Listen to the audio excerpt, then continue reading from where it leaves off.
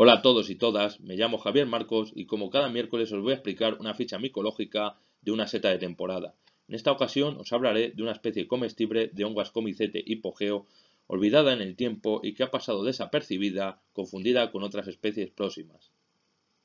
Que no es otra que Tuber bituminatum, de la que no se conoce ningún nombre común, aunque una buena opción sería llamarla la trufa bituminosa, porque presenta un olor característico en estadios adultos que recuerda al betún o el alquitrán.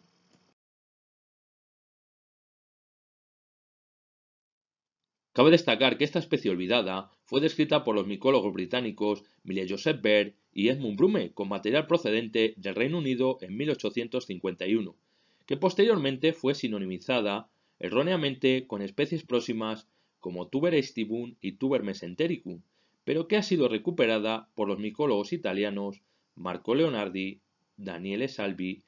Mirko Iotti, Gianluigi Rana y Giovanni Paccioni, y, como no, nuestra reina española de los hipogeos, Ita Conde, en un artículo publicado en el año 2021 en la revista científica Fungi, que adjunto a continuación en la descripción del vídeo,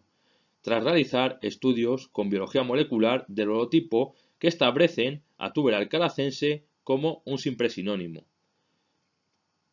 Dicha especie fue descrita en el año 2020 por Antonio Rodríguez y Asunción Morte con material procedente de la Sierra de Alcaraz, en la provincia de Albacete. Se caracteriza porque presenta el cuerpo fructífero con una morfología de tubérculo patata característica, subglobosa u ovalada con una pequeña cavidad basal no siempre bien perceptible que puede alcanzar desde los 3 a los 10 centímetros de diámetro.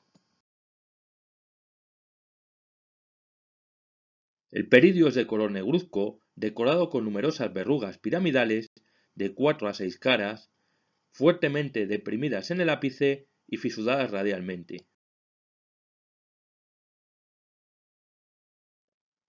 La greba es compacta, de color inicialmente blanquecino en estadios inmaduros, que se vuelve marrón oscura con tonos grisáceos con la edad,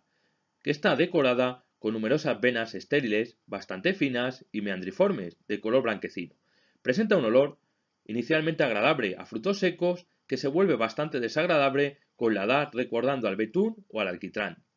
El sabor es inicialmente bastante agradable y suave, que se vuelve ligeramente amargo con el tiempo.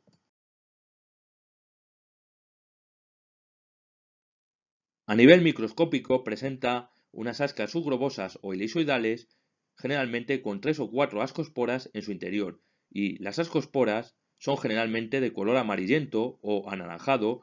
de elisoidales a subglobosas y bastante reticuladas. Fructifica generalmente de mediados de octubre hasta mediados de marzo, asociado a hayas, fagus silvática, avellanos, Corylus avellana, robres pubescentes, Quercus pubescent, encinas, Quercus rotundifolia y quejigos, Quercus faginia en suelos básicos.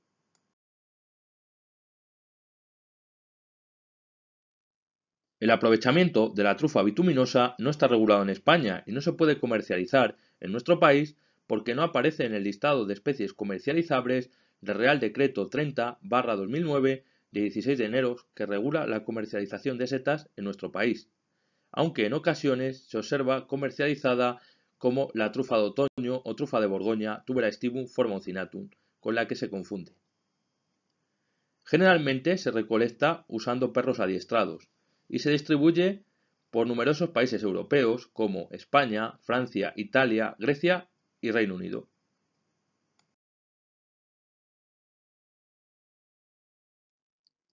La mayoría de confusiones se producen con otras especies de trufas comestibles o de baja calidad culinaria debido a sabores desagradables. Una de las principales confusiones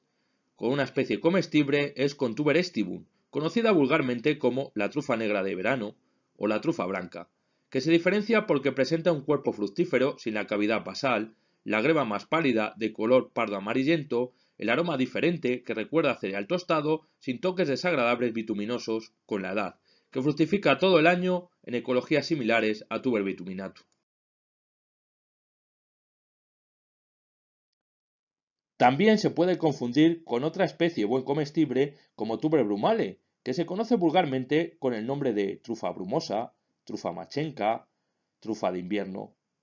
que presenta también el cuerpo fructífero con una pequeña cavidad basal, pero se diferencia porque presenta la greba de color negruzco decorada con menor número de venas, más anchas, de color blanquecino, el aroma diferente que recuerda al pechín, similar a Tubermelan sporum, pero un poco más suave, que fructifica durante el invierno en ecologías similares. Se puede equivocar con una especie de escaso valor culinario como Tubermalensoni, conocida vulgarmente como la trufa moscada, que también presenta el cuerpo fructífero con una pequeña cavidad basal, pero se diferencia porque presenta el peridio con verrugas bastante más finas y menos prominentes. El aroma es bastante diferente, desagradable, que recuerda a las heces, que fructifica en encinas durante el invierno, una ecología muy similar a la trufa bituminosa.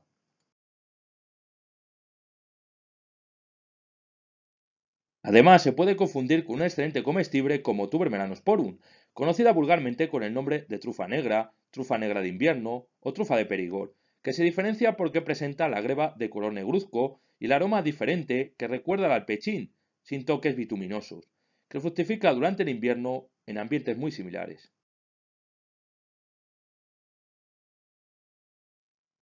Otra especie de bajo valor culinario, con cierto parecido, es Tuber mesentericum, conocida vulgarmente como la trufa borde o la trufa de pino,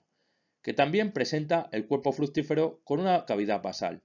pero se diferencia porque la greba es de color marrón oscura con tonos rojizos, decorada con venas estériles blanquecinas bastante más anchas, y un aroma y un sabor desagradables que recuerdan al alquitrán que le hacen prácticamente incomible,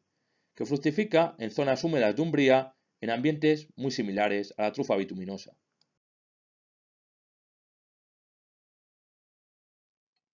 Otra especie comestible recientemente publicada Nueva para la Ciencia en el mes de diciembre pasado es tuber suave,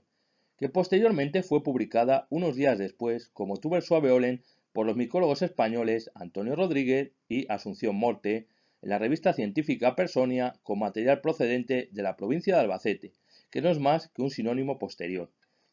Esta especie se diferencia de la trufa bituminosa porque presenta el peridio con verrugas más prominentes y más consistentes a la manipulación. La greba es de color marrón más oscura, con venas un poco más gruesas, y el olor es intenso pero agradable, sin toques bituminosos. Se comercializa generalmente junto a tuber bituminatum en los mercados europeos de España, Italia y Francia, como si se tratara de la auténtica trufa de Borgoña o trufa de otoño, Tuberastibum formoncinatum, a pesar de que no aparece en el listado de especies comercializables. Menos frecuente es la confusión con la trufa negra lisa, Tuber macrosporum, bastante rara en nuestro país, que se diferencia porque presenta el peridio con verrugas finas, bastante planas que le dan un aspecto liso y el olor diferente característico a ajo, que fructifica en zonas húmedas asociada a sauces, chopos, tilos, robres, hayas y avellanos durante el invierno, en suelos calcáreos.